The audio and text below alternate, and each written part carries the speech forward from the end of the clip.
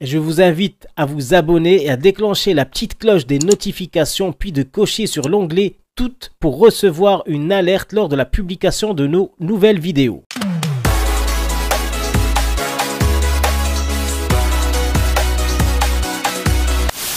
Niao les amis, j'espère que vous allez bien, que vos familles se portent bien. À quelques jours de la célébration de son centenaire, le royaume de Jordanie connaît des remous très dangereux pour le pouvoir en place. Le demi-frère du roi, Abdallah II, le prince Hamza, a été placé en résidence surveillée, tandis qu'une quinzaine d'individus proches du pouvoir ont été arrêtés, a officiellement déclaré ce dimanche dernier le vice-premier ministre jordanien. Ils sont accusés d'avoir comploté contre le régime.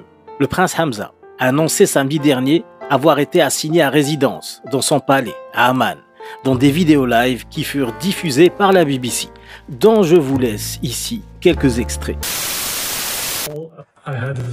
J'ai reçu la visite du chef d'état-major jordanien ce matin et il m'a informé que je n'avais pas le droit de sortir, de communiquer ou de rencontrer qui que ce soit parce que dans des réunions auxquelles j'ai assisté, ou sur des réseaux sociaux concernant des visites que j'ai faites, il y avait eu des critiques du gouvernement ou du roi.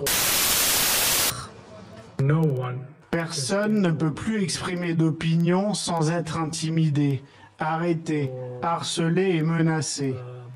Je ne suis pas responsable de la mauvaise gouvernance, de la corruption et de l'incompétence. Je ne suis pas responsable de la défiance du peuple envers ses institutions. Ils sont responsables. Je ne fomente aucun complot. Je ne suis membre d'aucune organisation étrangère ou soutenue par l'étranger comme c'est toujours l'accusation ici quand quelqu'un ose dénoncer. Il est soupçonné d'avoir porté atteinte à la sécurité et à la stabilité du royaume selon les dernières déclarations, encore une fois, du vice-premier ministre de Jordanie, Ayman Safadi. Ce dernier a aussi révélé à la presse l'existence d'une communication intense entre des proches de Hamza et des organes à l'étranger. Des accusations qui laissent à penser qu'un complot afin de renverser le roi est en cours. Sans que ceci ne soit explicitement exprimé, le pouvoir n'en pense pas moins. Le prince Hamza dément toute intention de complot mais insiste sur la lutte nécessaire contre la corruption dans son pays, qui est devenu endémique, et du caractère dictatorial que prend le régime du roi Abdallah II. Les médias étrangers, pour la plupart qui parlent de cette situation, ne rappellent pas l'aspect autoritaire de ce régime. Ils donnent pour certains l'impression de travailler pour la diplomatie jordanienne. Tout comme l'Arabie saoudite ou le Maroc, nous avons affaire là à une monarchie anticonstitutionnelle, dictatoriale. Les dirigeants monarques se sont d'ailleurs empressés de soutenir le roi Abdallah II par peur évidente de subir les mêmes aléas et par espoir d'être soutenus à leur tour si cela arrivait chez eux. Parlons plutôt de la situation catastrophique au niveau des droits de l'homme en Jordanie pour essayer de comprendre un tant soit peu la situation et cette supposée tentative de coup d'État. La Jordanie est tout d'abord considérée comme un régime autoritaire, dirigé par un autocrate. Selon un rapport d'Amnesty International, des agents des services de renseignement en Jordanie ont fréquemment recours à la torture pour extorquer des aveux à des suspects de terrorisme. Le crime d'honneur, qui désigne le meurtre de femmes soupçonnées de relations illicites, est souvent puni de manière légère par la police et les tribunaux. La Jordanie pratique couramment la traite humaine, en particulier le travail forcé, et dans une moindre mesure la prostitution forcée ainsi que le travail des enfants. La loi prévoit une peine d'emprisonnement pouvant aller jusqu'à 3 ans pour avoir insulté le roi, calomnié le gouvernement ou des dirigeants étrangers, offenser des convictions religieuses ou provoquer des troubles sectaires et des séditions. Les autorités surveillent et censurent la presse. De plus, des amendes sévères pouvant atteindre 20 000 dinars, c'est-à-dire 28 000 dollars, sont prévues en cas de publication jugée diffamatoire, selon Human Rights Watch. Les autorités jordaniennes ont utilisé des lois antiterroristes pour poursuivre les militants, dissidents, journalistes et prédicateurs islamiques. Il existe toujours une discrimination fondée sur le sexe, dans le droit de la famille, dans le versement des pensions et des prestations de sécurité sociale, dans la société ainsi que dans l'emploi de la propriété. Les femmes n'ont pas le même statut que les hommes en ce qui concerne la nationalité. Un Jordanien peut épouser une étrangère et transmettre sa nationalité à ses enfants. Les femmes ne le peuvent pas. Les femmes ne peuvent pas non plus transmettre leur nationalité à leur mari. Et il est interdit aux femmes musulmanes d'épouser des hommes d'autres religions. À cet état catastrophique des droits de l'homme viennent se greffer des relations extrêmement détériorées avec le voisin israélien et une économie en chute libre, la situation ne faisant que se dégrader bien évidemment depuis la crise du Covid.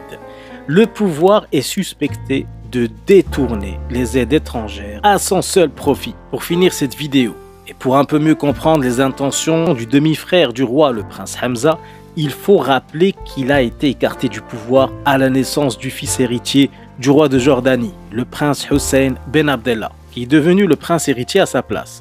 Les intentions du prince ne sont peut-être pas seulement portées par de bons sentiments envers le peuple jordanien.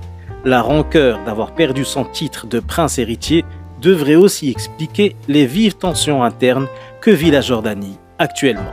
Merci les amis d'avoir suivi cette vidéo. N'hésitez pas à la liker si elle vous a plu, à la partager sur tous vos réseaux sociaux et aussi à me dire ce que vous pensez de cette situation en Jordanie. Sur ce, je vous dis à très vite sur Nihao TV. Few hours uh, with me.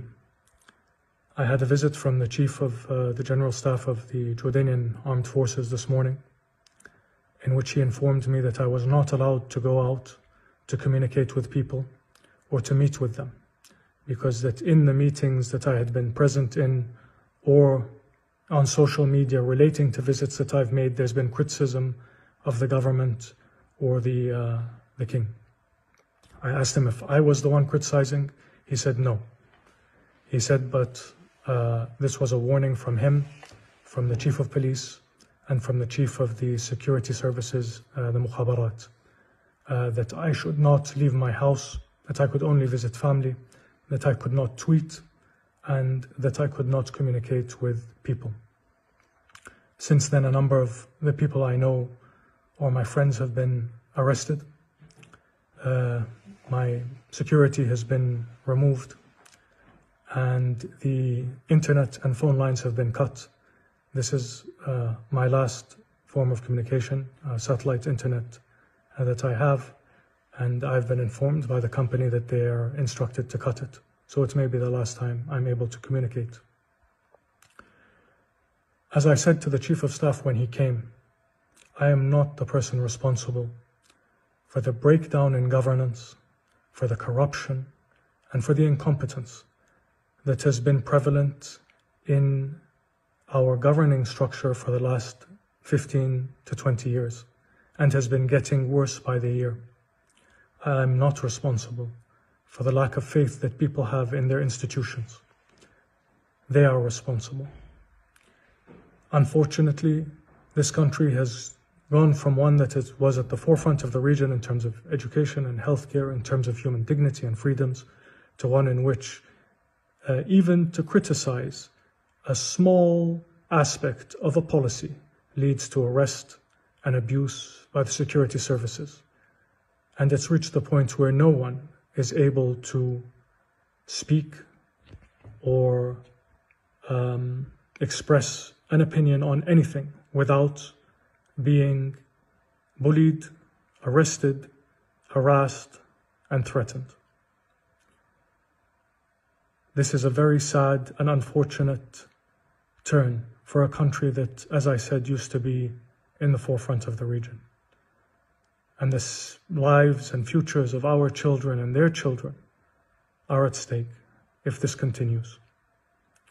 Their well being, has been put second by a ruling system that has decided that its personal interests, that its financial interests, that its corruption is more important than the lives and dignity and futures of the 10 million people that live here.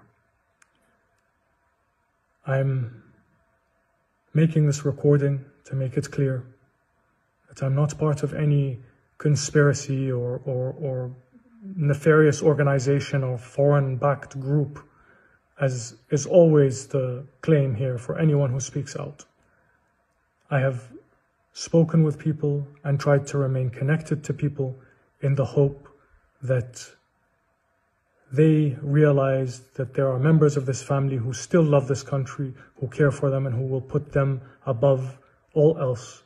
And so that I was, was able to remain aware and in touch with them and aware of their plight and their needs.